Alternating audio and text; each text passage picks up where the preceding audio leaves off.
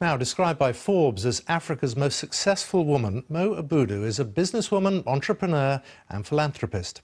She founded Ebony Life Television, Africa's first global multi broadcast entertainment network, and in 2013 was named one of the, most, uh, the 25 most powerful women in global television.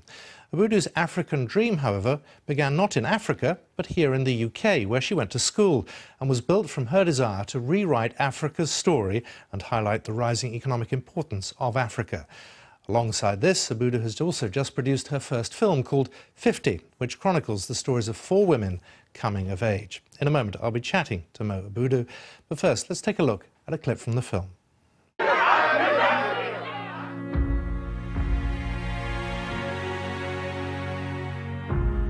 If you call me one more time, I'm going to change my number. What kind of party planner are you? Your behavior is just totally unacceptable, highly unprofessional.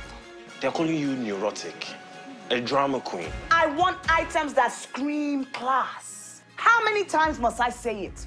Money is not my problem, but how to spend it. Pray like you came here for a miracle. Why is God unhappy with me? Why has he cursed me? Don't leave me, please, How many of your get-rich-quick schemes have to fail before you wake up, Chike? How many? You will respect me, young lady. I am your mother. Just go home. What home? Home to your wife. Well, Mo Abudu is here with me now. Welcome. Thank you so much, Simon. It's you have been, to be here. It's lovely to have you here. Uh, in terms of you and who you are, I've seen you described as Africa's Oprah Winfrey, but you, you're not wildly happy about that, are you? well, I, I, don't want to say that I'm not happy about it. I mean, Oprah Winfrey is somebody that I have a huge amount of respect for. But what I often find is that the West always needs to find a reference point in the West to refer some, to, for, as a reference point for something that goes back to Africa. So therefore, I must be the Oprah Winfrey, or I must be the equivalent of something from the West that represents something in Africa. I admire her. I think she's done a lot of great things. We have some things in common. But I would like to be called Mo. she is America's Mo Abudu, is probably oh, a better right. way of putting it. That's now, another way of putting it. As, as I said in the introduction, you actually grew up in this country. And how much of what's happened to you since is because of or despite that? I think a lot of it is because of that. You know, because, I mean, I had a wonderful childhood growing up here. But you find that those that have an understanding of Africa are far and few between. So I found myself defending who I was at any point in time. You were being asked. Against who? Well, against ordinary people that would ask you silly questions about, you know, can you speak African? And, you know, do you live under a bridge or do you live in a hut or do you eat bananas for breakfast? I mean, the most ridiculous things, which you can't blame anyone for thinking those things because maybe it's the perception, it's what they have become accustomed to and what they've seen in various forms of media that's out there.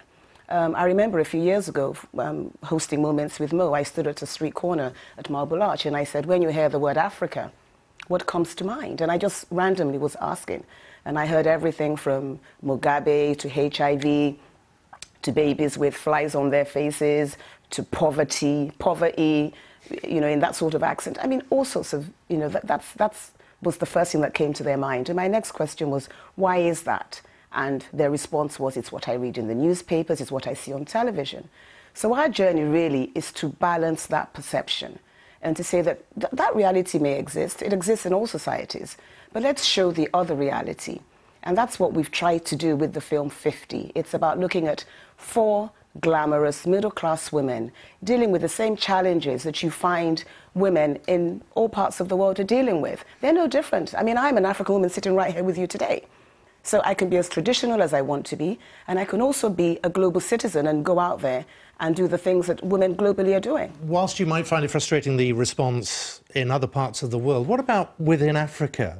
Does Africa get just what's happening in Africa at the moment. I think Africa totally gets what's happening, but I think also the message needs to be reinforced because the you know when you look at the volume of media in terms of looking at what's happening in Africa, there are don't forget that we're still flooded with millions of TV stations from the West. You know, I mean, I've conducted auditions where I have, you know, those coming for auditions and they've got American accents. They've never traveled out of Africa. That's the influence of television and, and the impact it has on those that are watching it. So, of course, that's why Ebony Life TV is there. It's to change that narrative. It's to give us confidence, it's to give the world confidence, to show them the alternative. But it's also important for there to be more Ebony Lives. I mean, it's a journey, it's a struggle that I, I can't do it alone. But at least I'm glad we've started that journey with Ebony Life Television and now with Ebony Life Films. And in terms of getting a Western audience to Ebony Life and to, and to all those things mm. that you're involved in, uh, is there a willingness, willingness to accept it? I, I think there is. We, we've had two screenings at the London Film Festival this week. Um, the first screening was at the Vue um, in Leicester Square. It was mainly a Nigerian audience. But the second screening was at the Ritzy in South London, mm-hmm. and it was mainly a white audience. And the applause at the end was overwhelming.